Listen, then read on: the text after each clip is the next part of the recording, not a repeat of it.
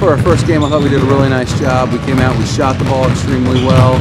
Uh, we, we got after defensively, kind of took away some of the things that they were wanting to do, made them take some tough shots. Uh, you know, we shared the ball. We had a lot of different kids score, which is a positive for us. And you know, we can't just rely on one kid. You know, Anna Sharon had a nice game.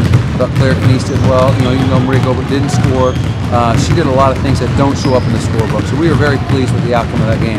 Another tough one on the horizon Saturday, right? It is Memorial, and, the big unknown is they've not played yet. And, uh, you know, they do play Friday, so we're going to try to uh, go down and watch a little bit, see what they. You know, we got some. They got some freshmen moved up as well, so uh, it's always a battle down there. You know, Coach Dockery has got that. Uh, he's got his man matchup zone, a little two-two-one press, so we're going to try to prepare for a little bit of that, and uh, and it's an opportunity for us to get better.